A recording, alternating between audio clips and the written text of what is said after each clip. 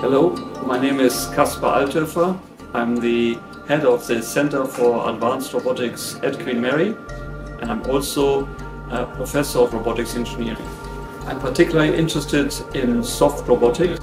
And by soft robotics I mean robots made from soft materials, for example silicon rubber. My name is uh, Lorenzo Jamone. I am a senior lecturer in robotics here at Queen Mary and I am program director for robotics postgraduate studies. Our master students can tailor their own personal experience with a combination of core modules on robotics, elective modules on AI and specific applications, and the final individual project that leverages the research experience and industrial collaborations of our academics.